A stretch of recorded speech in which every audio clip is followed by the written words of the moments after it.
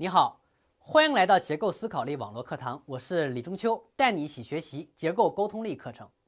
这一讲呢，我跟你分享的主题是竞聘报告，如何百分之百的展示工作成果，抓住晋升的机会。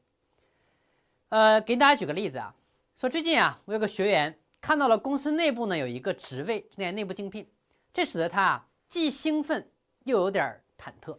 兴奋的是什么？这是小王啊向往已久的职位，是一个很难得的晋升机会，有很大的学习和发展空间。忐忑的是什么呢？他听说啊有一些很有竞争力的同事啊也要竞聘这个岗位。其实啊，公司有一系列的内部公开招聘流程，首先。申请者要写竞聘报告，筛选后才能进入下一步招聘流程。所以啊，竞聘报告就是非常关键的一个环节。所以他不敢怠慢，很快就完成了竞聘报告的写作，但又觉得没有把握。相信这样的内部招聘机会啊，和写竞聘报告这样的情况啊，在很多企业呢都很常见。也有很多人跟他一样，希望了解怎样在竞聘报告当中更好的展示自己。毕竟干得好也要说得好才行。那么，怎样在一一众竞聘者当中脱颖而出呢？呈现出自己的工作成果和独特优势呢？抓住晋升的机会呢？我们来一起看一下啊，竞聘报告就好像是员工在企业内部的一张名片，写好了让人印象深刻，能体现自己的职业品牌形象，展示能力，突出自己，对吧？反之呢，如果敷衍了事儿啊，或写的不够结构化和严谨，不能够突出优势。无疑会使自己的职业形象和晋升机会都受到很大的影响。那么竞聘报告到底该怎么写啊？它都该包含什么内容和要点呢？竞聘报告篇幅有限，这些内容框架应该是怎样的呢？竞聘报告首先要做到的是突出重点。什么叫突出重点啊？就是要突出自己的工作成果。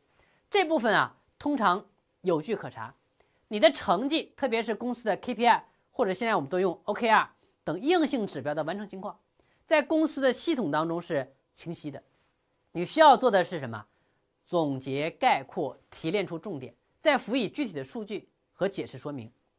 既然是晋升机会，除了这些硬性工作指标完成情况以外啊，我们还要说明自己的工作成绩和工作能力，还要相对软性的一些内容，比如说自己独特的优势，也应该尽量的将其可视化，给自身找出亮点。总之啊。竞聘报告有必要的基础信息，要有突出和亮点的核心部分。下面分享一个撰写竞聘报告的小策略啊，这个策略叫做一简洁，二突出，三亮点。第一，简洁，说明自身的基础信息啊，就是自我介绍的部分，这部分呢必不可少。第二个呢要突出啊，有两个部分，一个是工作成果，第二个是工作能力。第三个啊。在自身优势、潜力、驱动力和未来行动等三个方面啊，要尽量的提炼出你的亮点来，也通常是加分项。通过这三个方面的考虑啊，可以帮助我们竞聘者去思考竞聘报告要简要的说明的内容，要强调的重点以及亮点和内容的占比。把这些内容思考清楚以后啊，怎么写报告就迎刃而解了。好，说的有点简单啊，那我们来具体解释一下。下面具体来看。一简洁，二突出，三亮点，怎么来做？首先看一简洁，这第一部分呢，就是要简单的说明自己的基本情况，包括个人的基本信息、教育背景、专业和从业经历等等。这部分内容呢，公司系统里都有啊，不用写的太过详细，篇幅呢也不用太长，在整个报告当中呢，大约也就占到百分之十五，最多不超过百分之二十左右啊。但信息呢，务必要准确。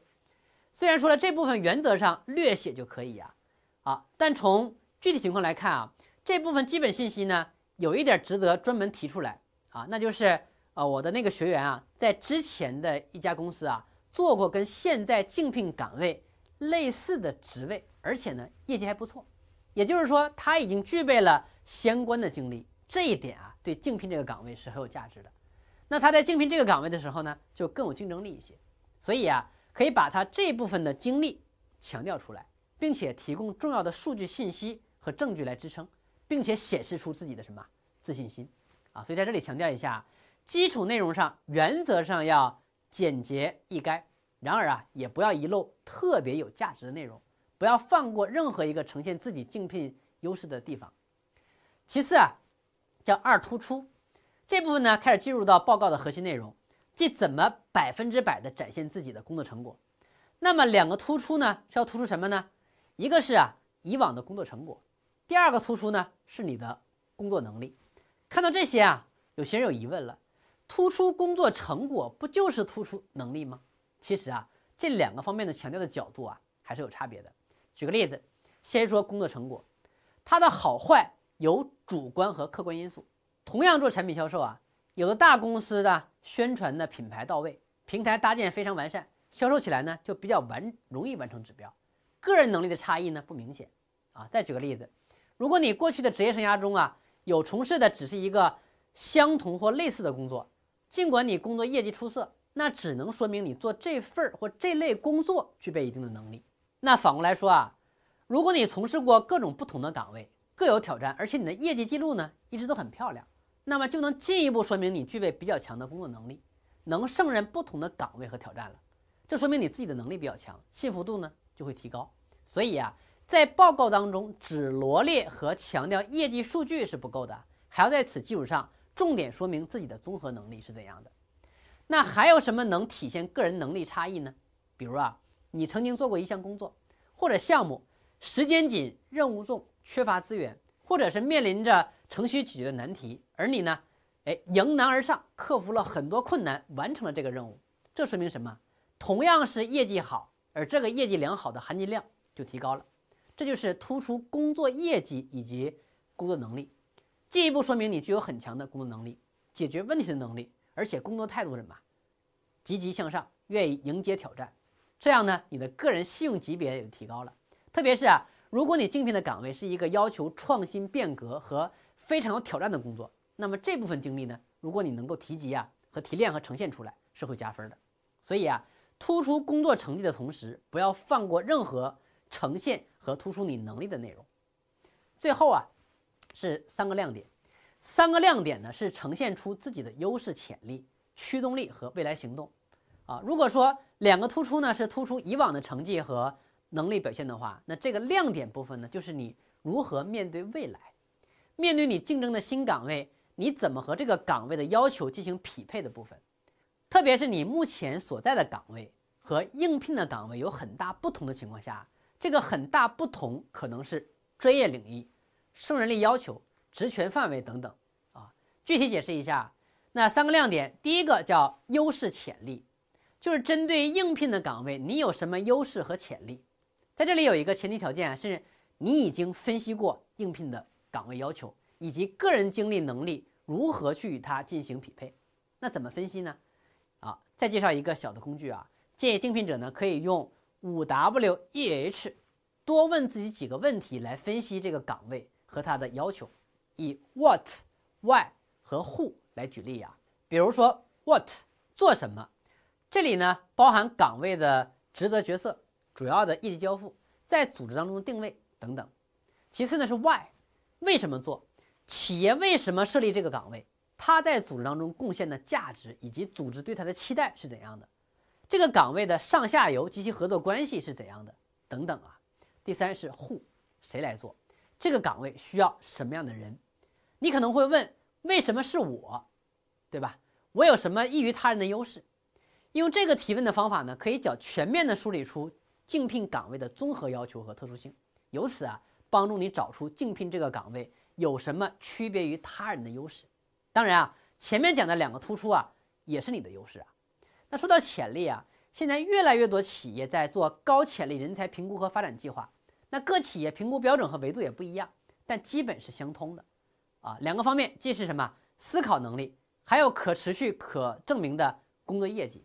思考能力包含了你的什么思考的广度以及深度，这就是高潜人才。必须要会想会干，什么叫会想啊？举个例子啊，很多企业会考虑员工的综合潜能，例如有战略思维、全局观、善于学习等等啊，这些是公司在甄选重要职位时重要的考量。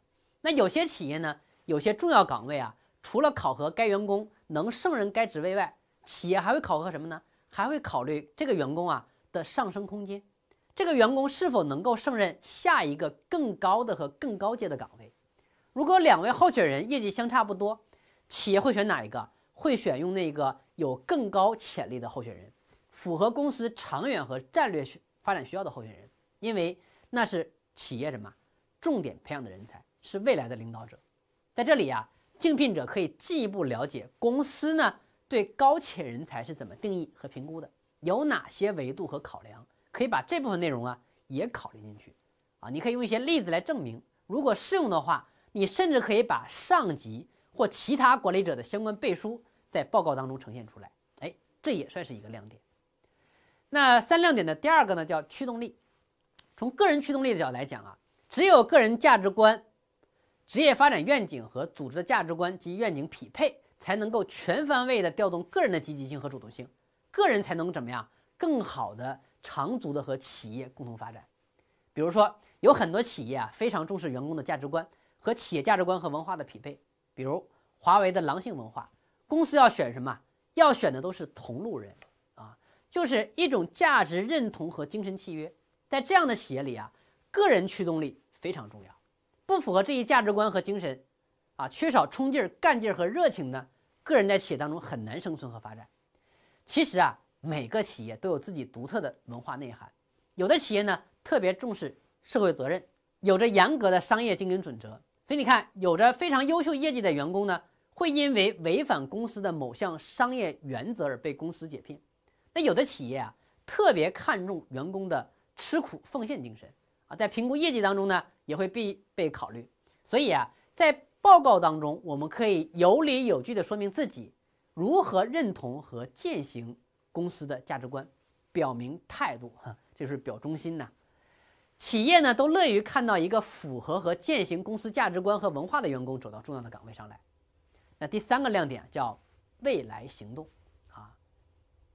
什么叫未来行动呢？就是针对竞聘的岗位，你未来将要做什么？